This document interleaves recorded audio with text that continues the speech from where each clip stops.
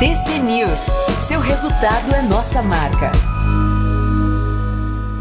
Por que, que o petróleo está subindo hoje de maneira tão vertiginosa, perto dos 88 dólares o barril? Conta pra gente o que, que você está acompanhando da commodity. Olha, Vinícius, do petróleo, eu tava até na pauta aí, de repente a gente puxa já para agora aí. É, nos últimos dias o petróleo tem mostrado sim força, Vinícius, hoje operando aí perto dos 88 dólares por barril renovando máximas desde outubro passado. E o que, que apoia aí nessa essa alta do petróleo, enquanto a gente vê que algumas outras commodities até recuaram, né? Na semana passada saiu um relatório do JP Morgan que tá, eles estão projetando aí que cortes de oferta da Rússia já estão mexendo e podem mexer ainda mais aí com o mercado de petróleo. Eu trouxe até uma imagem aí desse relatório do, do banco. É, Para a equipe do JP Morgan, a decisão da Rússia de cortar a produção nos próximos meses, que já foi anunciada há alguns dias, não é uma grande novidade, pode apertar muito a oferta de petróleo daqui para frente.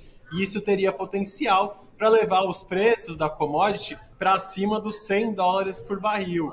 A projeção do JP Morgan, inclusive, é bem mais altista que a média do mercado. A gente via aí os bancos e casas de análise falando em Brent em 2024 entre 80 e 90 dólares, que é mais ou menos na faixa que está hoje.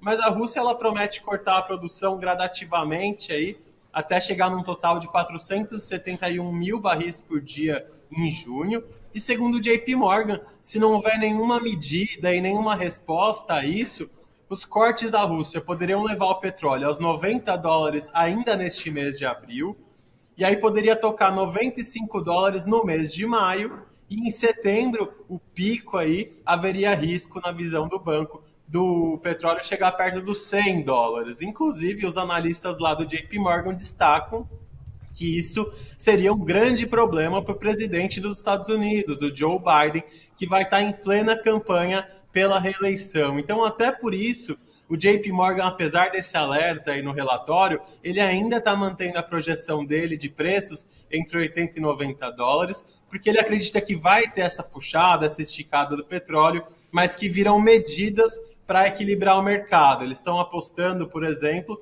que os Estados Unidos podem aprovar mais liberações de barris das reservas estratégicas de petróleo para tentar conter os preços, algo que a gente já viu antes de outras eleições americanas, não seria de surpreender. Então, existe uma visão agora de um grande banco americano muito mais altista para o petróleo e isso mexe aí com o mercado. TC News, seu resultado é nossa marca.